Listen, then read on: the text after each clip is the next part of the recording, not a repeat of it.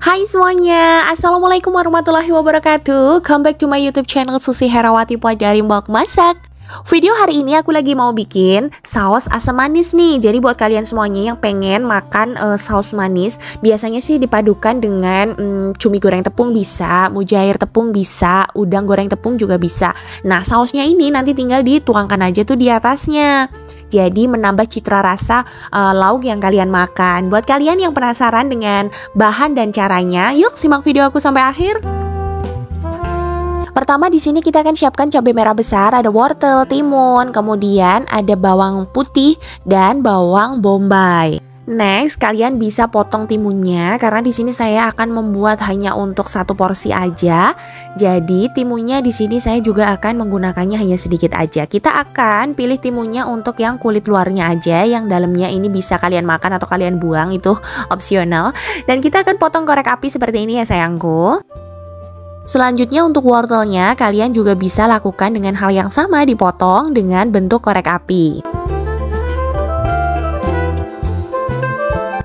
Untuk cabai merahnya, lakukan dan bentuk dengan bentuk yang sama. Untuk bawang bombaynya saya hanya akan menggunakan setengahnya ini aja. Jadi intinya cuma seperempat ya. Karena kan ini udah setengah tadi. Jadi aku bagi lagi. Aku pakainya hanya seperempatnya. Nah ini kita akan iris memanjang seperti ini. Untuk bawang putihnya kalian bisa geprek aja. Terus kalian cincang halus Siapkan pan ditambah dengan sedikit uh, minyak, masukkan bawang putih terlebih dahulu dengan bawang bombay, kemudian aduk rata, masukkan sedikit lada. Di sini saya pakai 2 sendok makan saus tomat dan 1 sendok makan saus sambal. Selanjutnya kalian bisa tambahkan air secukupnya aja. Kemudian Nah, ini kita boleh masukkan untuk wortel, timun, dan cabai merahnya yang tadi kita sudah iris seperti korek api seperti ini.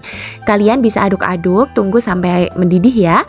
Tambahkan satu sendok cuka makan, tambahkan juga untuk roiko atau kaldu ayam.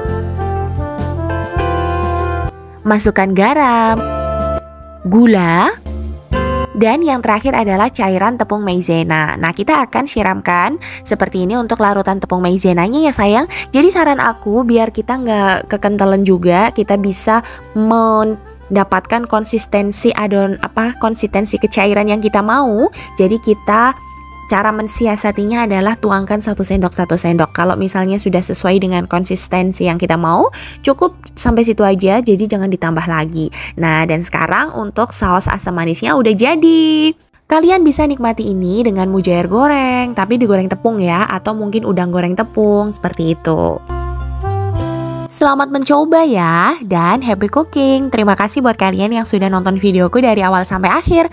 Jangan lupa support channel aku. Wassalamualaikum warahmatullahi wabarakatuh. Dah.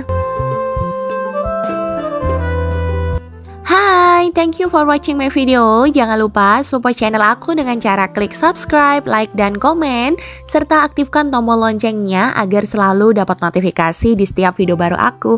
Bye!